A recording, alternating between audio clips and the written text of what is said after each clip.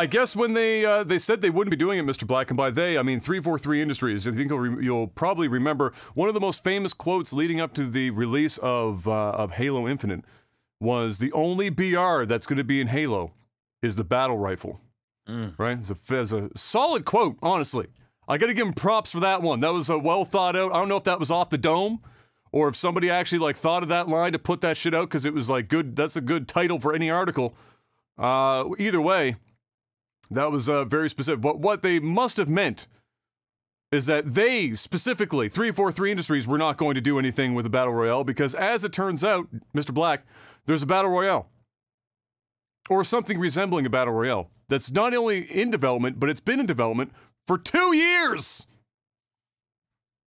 It's been doing it's been it's been in development by Certain Affinity, who 343 has worked with on several occasions over the last decade, more or less.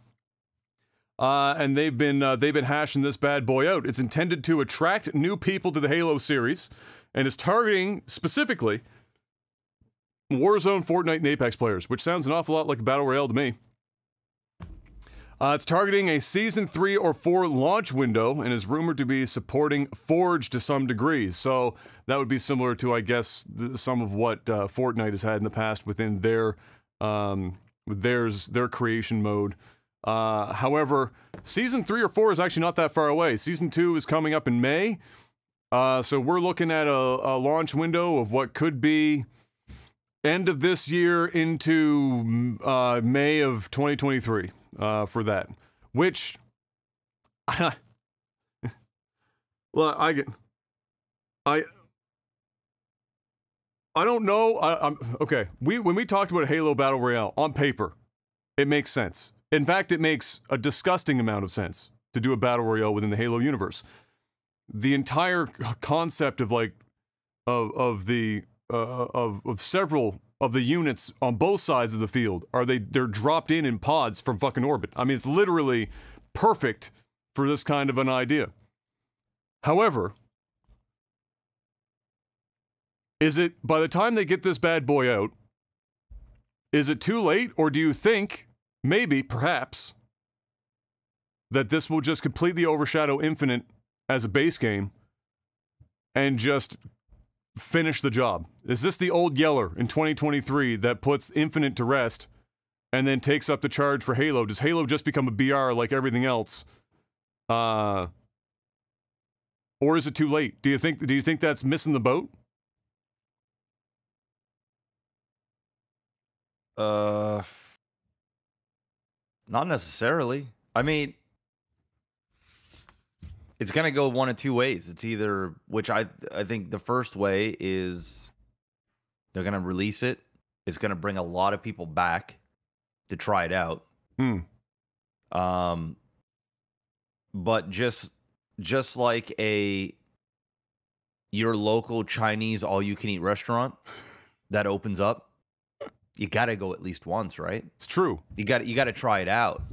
It's a new Chinese restaurant. I'm not really a big Chinese food guy, but it's an all you can eat Chinese restaurant. Maybe this is the one. Maybe you go there, you pay forty nine ninety nine, which is just ridiculous.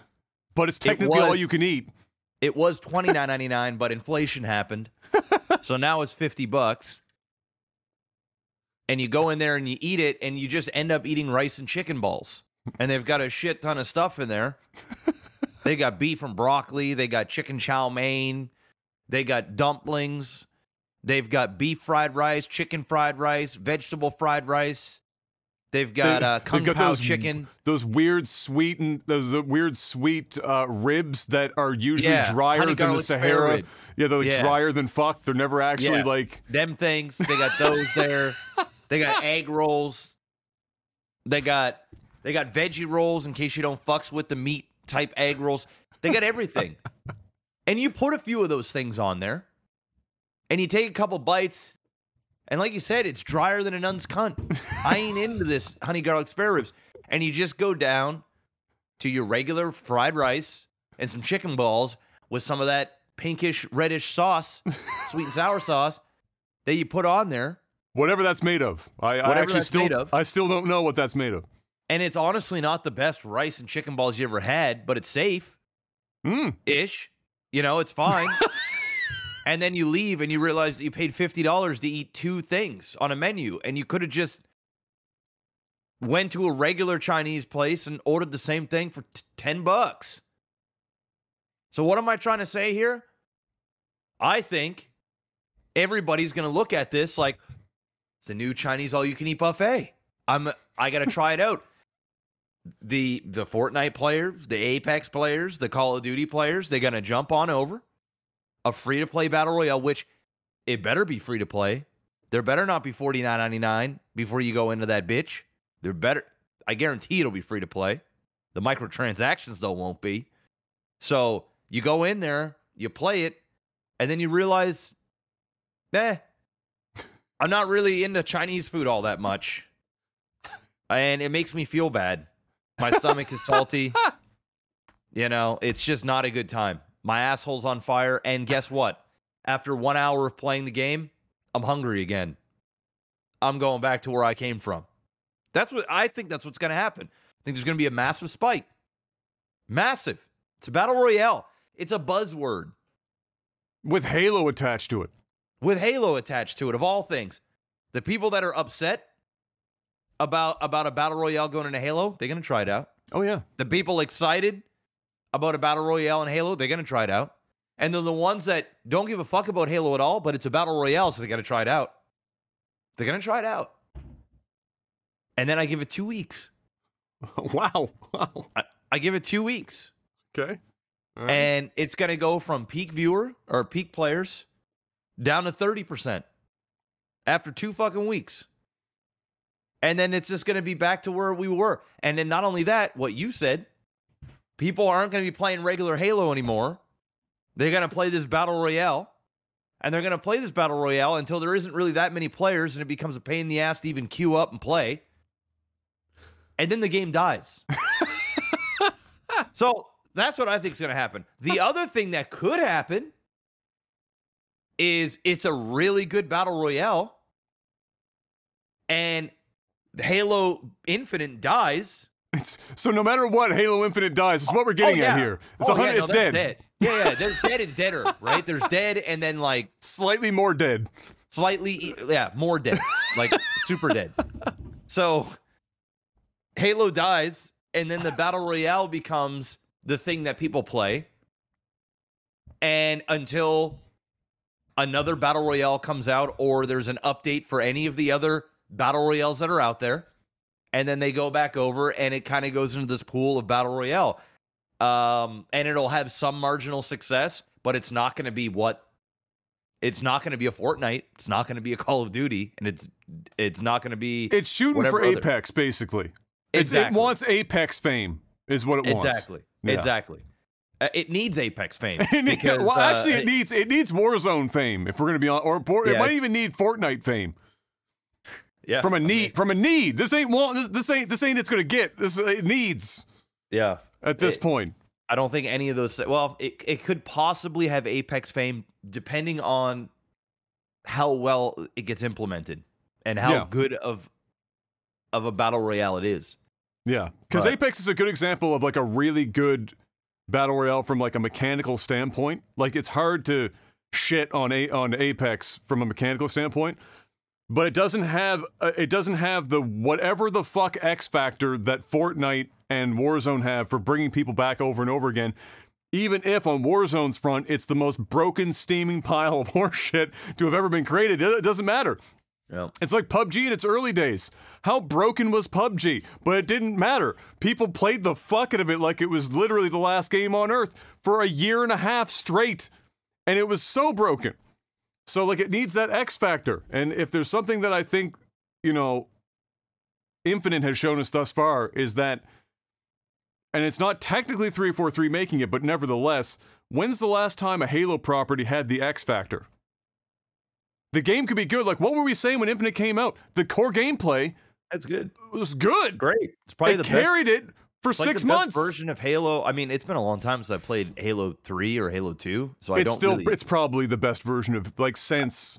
yeah, I don't then. remember how Yeah. good. Like I remember having a ton of fun, but I also ha- remember having a ton of fun playing like I, I don't know StarCraft 64. You know what Yeah, I'm saying? yeah. It's not Yeah, a, good- it's not a good time Yeah. uh, if I were to play it now, but I had fun. uh, but Halo, th- th- this Halo Infinite, in my opinion, from what I can remember, and people can argue uh, they're valid points, but I, I actually think it's the best version of Halo that we might have ever had. I I, I agree.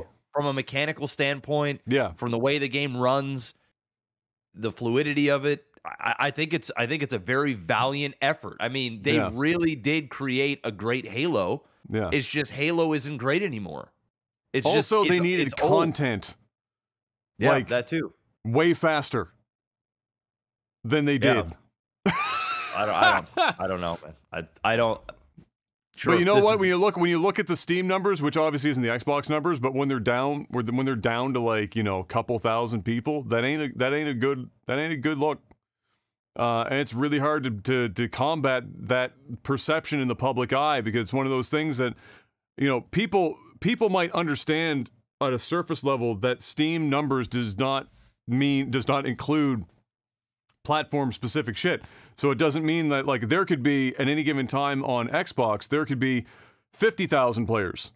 But on Steam side you're only seeing 3,000 players.